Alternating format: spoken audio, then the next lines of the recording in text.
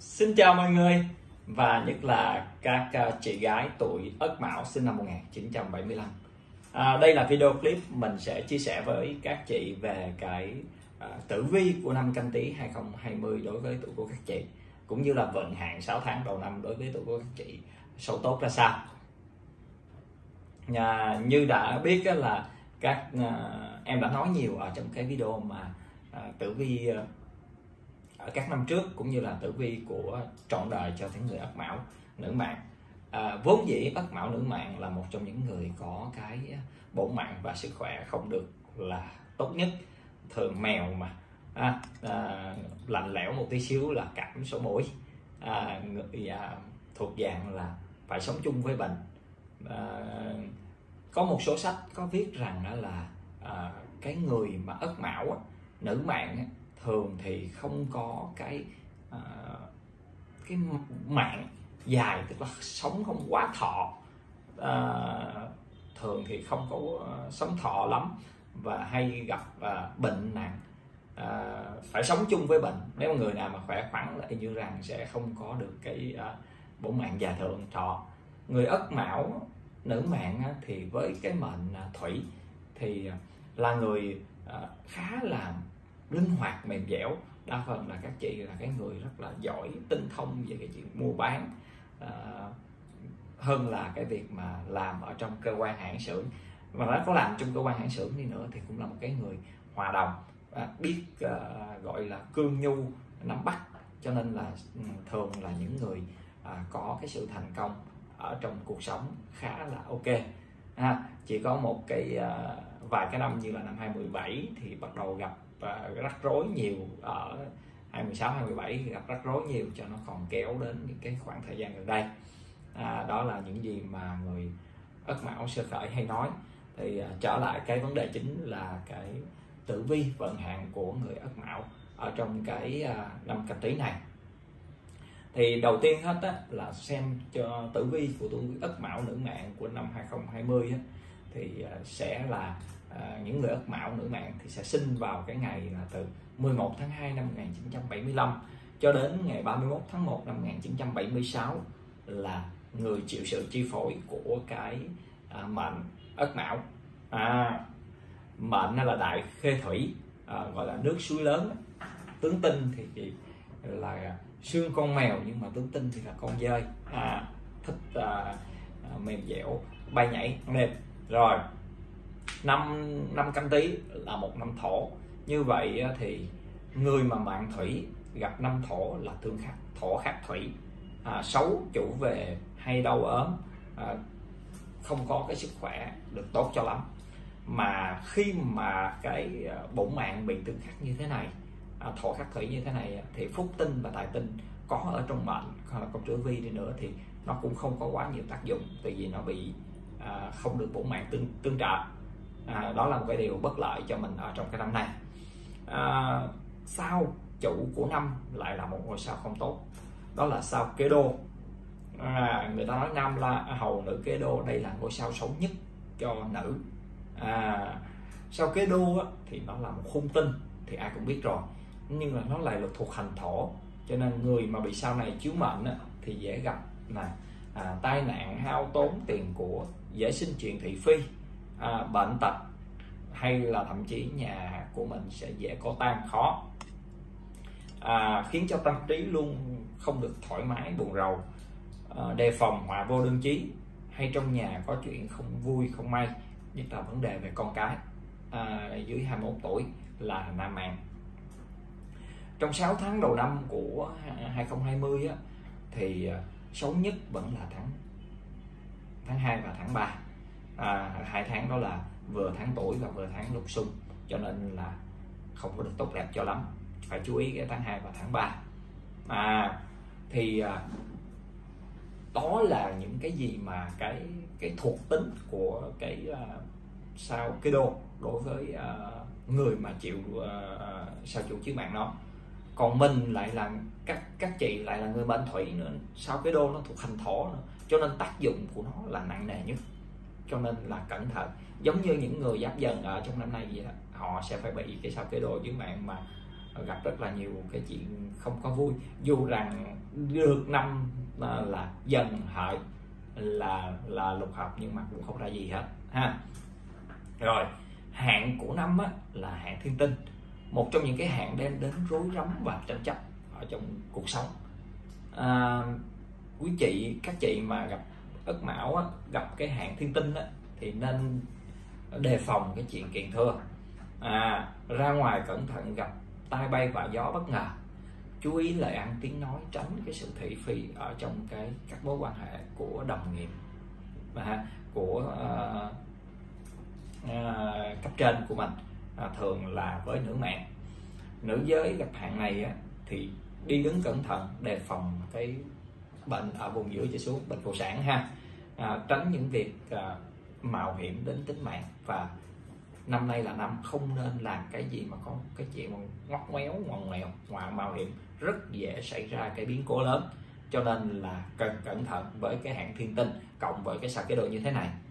Tiếp tục là vận niên. Vận niên lại là một vận niên xấu đó là cẩu cuồng phong. Báo hiệu một cái năm thì nói là khó khăn nhiều do vận niên mang lại cái vận niên là cái tác nhân bên ngoài. À, sức khỏe thì kém mà tâm lại hay nổi nóng vô cớ dễ dẫn đến những quyết định sai lầm. Ví như là chó mà bị điên vậy đó. Cậu cùng phong chó điên mà. Cần phải bình tĩnh à, vượt qua những khó khăn trở ngại mà cái năm này nó vận niên cái tác động bên ngoài nó đem đến. À, rõ ràng là nãy giờ xét là mạng hạn vận niên thì vận niên sau mạng gì đều xấu cả. À, vận hạn sau mạng gì cũng đều xấu hết. Tuy nhiên là thiên can thì cái trụ mà ảnh hưởng đến cái công việc của mình á, thì lại là một cái thiên can tốt. Đó là ất hợp canh. À, ấp gặp canh là thuộc ngũ hợp. À, may mắn trong công danh sự nghiệp. À như vậy thì nếu mà những người mà làm ăn buôn bán thì à, công việc nó vẫn phát triển bình thường nhưng mà những cái rắc rối thì nó cũng không có thể chừa cho mình đâu ha. Rồi địa chi? Mão gặp tý tý ngọ mão. Ha ngọ nằm trong tứ hành xung à, người ta gọi đây là thuộc nhóm địa chi tự hình à, chuột với mèo là không có chơi với nhau. À, chủ về thị phi gia đạo gặp chuyện buồn phiền. À, mình có xem cái vận niên của năm. Đó là năm canh tí là năm thổ người ta nói là chuột đào hang. Mà chính tinh thì không có à, cho nên là những cái tuổi mà xung với à, năm canh tí sẽ gặp rất nhiều khó khăn.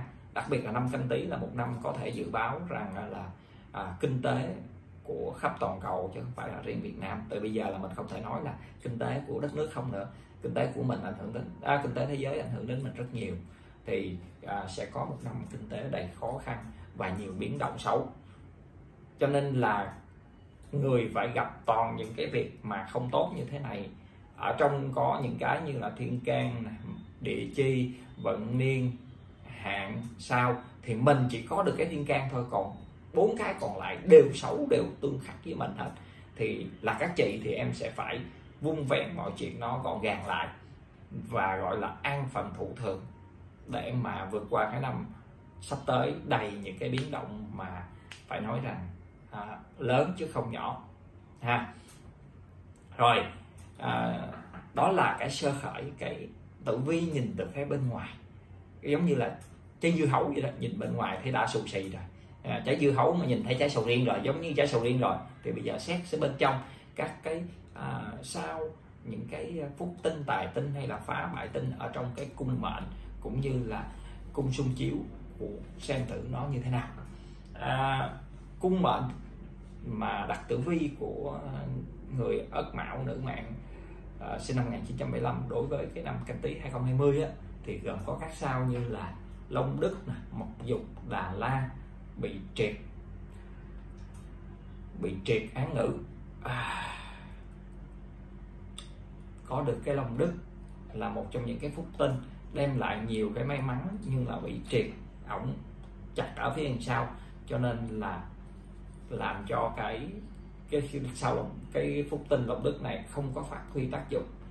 Nhưng ngược lại triệt này cũng khắc luôn cũng à, khống chế luôn cả một dục và là la. Cho nên là phần nào hạn chế được cái sự hung hại của hai cái à, phá và bại tinh này đây là một có thể nói là đây là một năm không nên thay đổi công việc hoặc là đầu tư gì quá lớn ở trong năm này. Với những cái uh, cái um, sao ở có trong cái cung mệnh của mình. À, ngoài ra đi ra đường phải chú ý cái việc tay chân à, dễ gây ra thương tích. À, đó là những gì mà mình có thể nói cung mệnh à, đem lại. Cung xung chiếu thì có các sao như là thiếu dương à, đường phù hỷ thần thiên không tử. Hay à, có thiếu dương đường phụ hỷ thần thì đem lại. Đây là có thể nói là một cái sao à, một cái cái cái bộ sao đem đến cái chuyện vui vẻ. Chắc là nhà có à, dễ có cưới sinh cưới gả ở trong cái à, năm canh tí này. Tuy nhiên có thiên không và tử ở trong cung xung chiếu thì đề phần con cái như đã nói đề phần con trai dưới 21 tuổi đem lại rắc rối rầy rà cho bản thân mình đem lại buồn phiền. Ha có thể là không phải là do nó chủ động mà nó có. Tức nạn này từ trên trời rơi xuống đối với cái đứa này. À, nó khiến đứa này như vậy. Có thể từ xưa giờ nó rất là đàng hoàng nó rất là ok mọi thứ nó là một đứa con tốt. Nhưng mà năm nay tự nhiên cái nó khác biệt nó làm cho mình rất là buồn phiền rất là lo âu. Thậm chí là à, để ý cẩn thận coi chừng cái việc tai nạn của nó đem đến sự buồn phiền cho mình nha.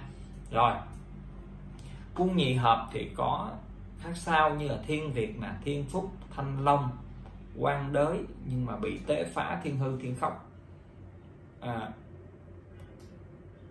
luôn trực chờ để mà phá hoại. À, thiên việt thiên phúc đây là thanh long quan đới. Đây là bộ sao nói về cái chuyện mà thăng tiến về à, danh vận à, tài lộc. Nếu như những người của các chị mà làm ở trong cái công việc mà à, ngành à, công an hay quân đội hay là cơ quan nhà nước thì nói chung là quan vận thì rất dễ hanh thông với cái việc đề được đề bạc tuy nhiên bị tế phá thiên hư thiên khóc đem đến thì mình bên cạnh những cái việc đề bạc đó mình cũng phải gặp cản trở của cái việc người ta phá hoại người ta moi móc những cái chuyện ờ, có thể là mình có sai phạm ở đâu đó ờ, hồi trong quá khứ chỉ là nhỏ thôi và bị người ta lôi ra người ta làm cho nó thiên hư đi ha, làm cho mình phải lao tâm khổ tứ buồn phiền. Nhưng mà với cái à, đặc biệt là với cái thiên việt và thiên phúc như thế này đi đầu ở trong cái cung nhị hợp thì có thể nói rằng người ta có làm gì đi nữa thì các chị cũng vẫn đạt được cái kết quả mà ban đầu của mình đề ra. Ừ, tuy rằng mình phải tốn nhiều tâm sức hơn à, tốn nhiều cái vận động này kia hơn nhưng mà rõ ràng là mình vẫn đạt được kết quả. Các chị yên tâm trong cái xấu cũng có cái tốt chứ không phải là hoàn toàn mọi chuyện đều xấu đi một cách đáng sợ hết. Rõ ràng là như là em hay chia sẻ nói à, cái gì nó cũng cân bằng thí dụ như là cây viết thì nó cân bằng. Đúng không? Nhưng mà thí dụ như năm tốt đó, thì đỏ nó nó nhiều hơn đen nó ngắn hơn. À, còn bây giờ năm này năm xấu thì đen nó nhiều hơn đỏ nó ngắn hơn nhưng mà nó vẫn là vàng 10 thôi nó không có chặt đi thành chín được. À, nhưng mà rõ ràng là năm nay à, với cái vẻ bên ngoài thì nó rất là xấu. Nhưng bên trong những cái cung xung chiếu cung nhị hợp này thì ngoài cái việc xấu ra nó vẫn còn những cái tín hiệu tích cực. Đặc biệt là như đã nói cái chữ ất hợp canh thì công việc tài lộc nó vẫn tiếp tục nó phát triển chứ nó không dừng lại. Trong một cuộc đua thì như đã nói đường trường dừng lại có nghĩa là mình thụt lùi so với tất cả mọi thứ mọi người đi trước tiếp tục chạy. Cho nên là ở đây mình vẫn năm nay mình vẫn tiếp tục chạy vẫn có tài lộc chứ không phải là à, mất đi cái tài lộc của mình. Rồi đó là cung nhị hợp chuyển qua cung tam hợp thì có các sao như là thiên quan liêu niên văn tinh, tuyệt đại hao, trực phụ tấu thư, thiếu âm hồng loan. Suy, đây là có thể nói à, là có đại hao ở cho cung tam hợp là phải hao tốn tiền tài, bị trực phụ tấu thư. Trực phụ đi trước tấu thư thì có rắc rối về giấy tờ cho nên năm nay rất dễ dính vào kiện tụng về việc mà giấy tờ không có hợp lệ. À, cho nên là khi ký tá giấy tờ gì năm nay văn bản gì thì làm ơn các chị phải kiểm tra cho kỹ nếu không muốn mất tiền. À, đại hao đi trước trực phù và tấu thư. Tuy nhiên là có thiên quan và lưu niên văn tinh nhưng mà bị triệt án nữ ở cái cung tam hợp như thế này thì hai cái phúc tinh này không đem lại mấy tác dụng cho mình. À, ngoài ra có thiếu âm hồng loan. Thiếu âm thiếu âm hồng loan. Hồng loan cái này là nói về tình cảm. Nếu với các chị mà uh, có cái uh, vẫn còn đang ở cái tình trạng độc thân thì năm này rất là thuận tiện tốt cho cái việc mà có được cái cung tam hợp đến với mình hồng loan là cái chuyện cưới gả uh, có thêm cái uh, góp gạo về thổi cơm chung với một ai đó là một điều tốt đẹp. À, hãy uh, cẩn thận nhất vẫn là cái việc mà uh, đại hao đi trước trực phù và tổ thư nó sẽ đem đến rắc rối hao tốn về tiền bạc cho nên là các chị nhớ cẩn thận về mặt giấy tờ mọi thứ mà mình muốn ký tá hoặc là mình muốn làm cái gì đó thì nó sẽ tốt đẹp hơn đối với uh, tuổi của uh, các chị. À như vậy thì đó là cái à, tử vi à, cả nội tại và à, bên ngoài của cái năm canh tí đối với tuổi của các chị. Báo hiệu rằng là một năm nữa tiếp tục không có được tốt đẹp. Về cả sao hạn vận niên. À rồi là các cung xung chiếu cung nhị hợp cung tam hợp. Thì rất là nhiều cái phán và bại tinh ở trong cái các cung đó.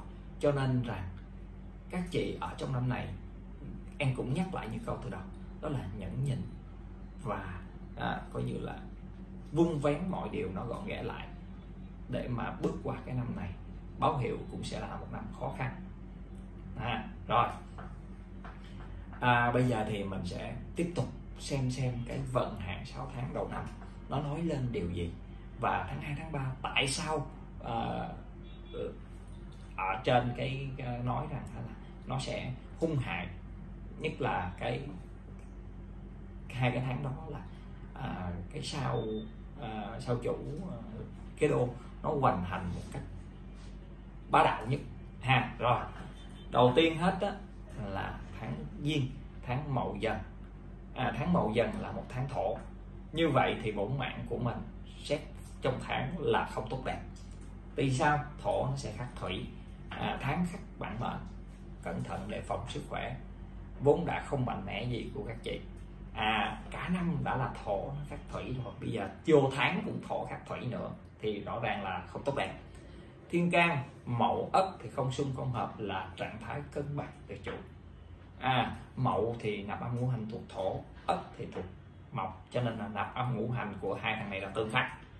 Cho nên là tiềm ẩn những cái khó khăn ở trong công việc chứ không phải là suôn sẻ gì đâu. À, tuy nhiên là hy vọng đây là tháng tháng giêng tháng mà gọi là tháng ăn chơi cho nên là công việc nó chưa quá chạy cao nó chưa có áp lực gì nhiều. Cho nên là cái sự hung hại này nó cũng nhỏ thôi ha địa chi dần mão thì tự chủ bình hòa không hình hài cũng không có tương hợp với nhau. Cho nên có thể nói là gia đạo tình cảm là vui vẻ. Đúng rồi mấy ngày tết mà. Mấy ngày tết mà gia đạo tình cảm mà không vui vẻ nữa thì chắc là sống làm sao nổi. Đúng không? À ok, okay. rồi coi như là tháng 1 nó như thế. Tiếp đến đó là tháng 2 tháng mà hồi nãy mình nói rằng nó có nhiều hung hại có nhiều không có tốt đẹp. Vì sao? Vì như thế này. À, sau cái đô nó hoành hành cộng với vận hạn của tháng nó không tốt đẹp. Lại sao như thế này ha? Tháng 2 là tháng kỷ mão mà kỷ mão thì thuộc thổ cho nên mệnh thổ khắc thủy à, tháng khắc bản mệnh cẩn thận đề phòng sức khỏe. Nó cũng giống như tháng giêng tạo ra nhiều cái sự khó khăn cho bổn mạng mà khi mà bổn mạng bị tương khắc như cũng giống như trong năm đó thì phúc tinh tài tinh sẽ yếu đi rõ ràng. À, mất cái sự tương trợ của bổn mạng mình cho cái phúc tinh tài tinh bên trong mình mà cho nên là cần cẩn thận. Rồi thiên can chữ ất của các chị nó khác chữ kỷ của tháng. Thiên can à, khắc tháng. Cẩn thận hao tài tốn của. À, công việc có cái sự chống phá của à, ngược của bên ngoài. Địa chi mão gặp mão thì thuộc nhóm tự hình. Năm sinh tháng tuổi cẩn thận gia đạo không vui vẻ. À gặp tháng này là cái sao cái đô nó hoành hành rất mạnh nữa. Cho nên rõ ràng là tháng này điểm mình hay nói em em hay tính như nè. Điểm số của uh, em tính của năm thí dụ như năm nay các chị đối với uh, tử vi của các chị đi thì khoảng 4 điểm. Nếu như tháng đó được 6 điểm thì nó giật lên cho các chị thành uh, uh, trung bình tháng uh, tương đối tuy nhiên tháng năm này của các chị có 4 điểm, tháng vận hạn chỉ có 3 điểm thôi, thì nó còn giật súng nữa, thì rõ ràng là nó xấu, đúng không? Tại sao xấu? Cái gì nó cũng có liên quan với nhau đó các sao đó như vậy thì trong đó thì người ta cũng tính tới là cái bụng mạng nó sẽ không tốt đẹp. À rồi, tiếp tục. Ha, cẩn thận giùm em tháng 2 ha. Có nhiều cái mạng không tốt, thiên can không tốt. Thiên can là công việc đó không tốt. Giá đạo cũng không tốt và địa chi là gia đạo à rồi tháng thứ ba của năm canh tí 2020 tức là tháng canh thìn một tháng kim. À như vậy thì mệnh xét về chủ mệnh là kim sinh thủy bản mệnh được tương sinh tốt cho sức khỏe và các tài tinh phúc tinh được hưởng lợi. À ngon ha. À, em có cái tương sinh là thấy đêm rồi. Thiên can canh ấp thì không xung à, không hợp là trạng thái cân bằng tự chủ. À, nạp âm ngũ hành là của canh là kim nạp âm ngũ hành của ất là mộc. Cho nên là hai thằng này là kim khắc mộc. À, bản thân của nó cũng không có tốt đẹp gì lắm về nạp âm ngũ hành. Tuy nhiên nạp âm ngũ hành thì nó tác dạ, uh, dụng hung hại không quá lớn như là bị uh, tương khắc như là tháng hai cái sự uh, xui rủi ở trong công việc nó giảm đi một tí xíu chứ không quá khó khăn như tháng 2 nhưng mà cái gì cũng vậy nó cũng có liên quan ha. Sập hầm rồi tháng 3 mình phải lo giải quyết giải quyết việc cho tháng 2 chứ. Nhưng mà nó không tiếp tục sập hầm nữa thôi ha. Các chị nhớ cẩn thận. Địa chi thì thìn mão thuộc nhóm lục hại nhị hại đó. À, tình cảm dễ gặp muộn phiền âu lo. Tình cảm gia đạo dễ gặp muộn phiền âu lo. Các mối quan hệ với đồng nghiệp cũng không có tốt đẹp. Như đã nói ha là năm nay mình rất dễ có cái chuyện ảnh hưởng không tốt đối với uh, uh, sếp của mình. À như vậy thì tháng 3 cũng không có khá hẳn gì hơn tháng hai nhiều. Với à, thiên can và địa chi có vấn đề. Tuy nhiên là đỡ hơn là tháng 3 có được cái mệnh tương sinh là kim sinh thủy mình có thêm cái năng lực năng lượng để mà cái phúc tinh và tài tinh nó phần nào nó đẩy bớt cái sự khó khăn của cái tháng này lại ha. Cho nên nó nhẹ hơn là tháng 2 một chút xíu. Rồi à, tiếp tục là tháng tư âm lịch. Tháng tư âm lịch là tháng tân tỵ. Tháng tân tỵ thì chắc chắn là thuộc kim. Như vậy mệnh cũng sẽ giống như tháng 3 với kim sinh thủy bản mệnh được tương sinh tốt cho sức khỏe. À, phúc tinh và tài tinh vì thế nó cũng được hưởng lợi. À ngon lành ha. Nhưng thiên can lại không tốt đẹp. Vì sao? Vì chữ tân của tân tỵ nó sẽ khác chữ đó. người ta gọi tháng khắc thiên can công việc dễ lâm bế tắc gặp nhiều điều không thuận lợi. À, lại tiếp tục một tháng không có êm ả gì hết địa chi mão tỵ thì tự chủ bình hòa không hình hại cũng không có tương hợp nhau. Như vậy thì rõ ràng là với cái tháng à, tư thì chỉ còn một cái đó là tân khắc ất thôi cái ảnh hưởng đến công việc thôi. Còn gia đạo thì đỡ rồi. À, sức khỏe và bổn mạng của mình với cái tháng kim sinh thủy như thế này thì tốt đẹp ha. À, rồi tiếp đến là tháng năm âm lịch của năm à, canh tí. Rồi à, tháng năm âm lịch đó là tháng nhâm ngọ. Thì tháng nhâm ngọ là thuộc mộc. Như vậy là xét về chủ mạng là thủy sinh mộc. Bản mệnh bị sinh xuất tháng sức khỏe bổ mạng không được tốt đẹp cho lắm. À phê đã. À, thiên can thì nhâm ất không xung không hợp là trạng thái cân bằng tự chủ. Nạp âm ngũ hành của nhâm là thủy ất là mộc cho nên là có thể nói là được tương sinh về mặt nạp âm ngũ hành tốt cho cái việc công việc có sinh tài lộc nhưng không quá lớn. À, sau à, ba ba tháng liên tiếp à, ê hề với à, à, tất cả những cái không tốt về công việc tháng năm bắt đầu đỡ hơn một chút.